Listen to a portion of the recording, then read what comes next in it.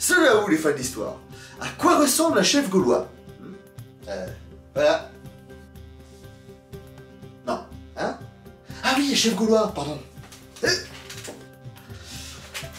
Voilà. Mais, mais pourquoi tu montes sur un bouclier? Bah, un chef gaulois, c'est sur un bouclier d'habitude. Descends, tu vas te péter la gueule là. Mais non, je vais pas me péter la gueule Et voilà. Si comme lui, vous avez pensé à Abracoursix, c'est complètement faux. En réalité, l'habit gaulois civil reste assez méconnu car on a peu de traces archéologiques. Toutefois, on pense qu'il ressemblait à ça.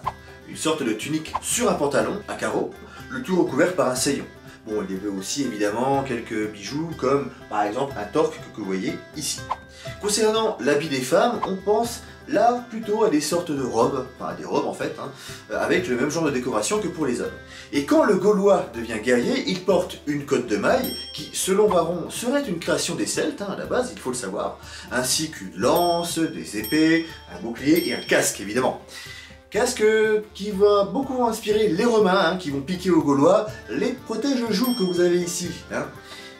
Et le glaive d'ailleurs aussi, les Romains vont le piquer aux Gaulois. En fait, les Romains ils piquent plein de trucs. hein. Allez, Grec Donc, non, pas de casque à cornes ou avec des ailes, comme dans Astérix, du tout.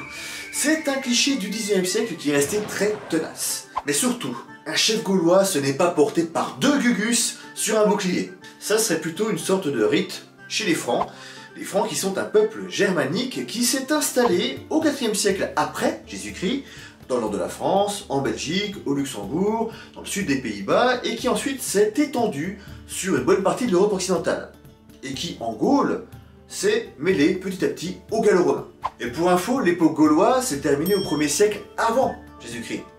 C'est-à-dire 4 siècles avant l'arrivée des Francs. Pour que vous compreniez bien, il s'est écoulé plus de temps entre Vercingétorix et Clovis, entre François Ier et nous. Enfin, quand je dis qu'on attribue aux Francs cette tradition de porter un chef sur un bouclier, c'est peut-être encore plus compliqué en fait. hein. A priori, ce serait peut-être une tradition romaine qui serait apparue au 4e siècle après Jésus-Christ. C'est-à-dire au moment où les Francs commencent à arriver dans l'Empire romain.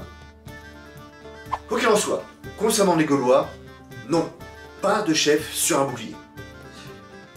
Du coup, on comprend mieux pourquoi Abracoursix avait un petit peu tendance à se péter la touche. Et toi aussi d'ailleurs.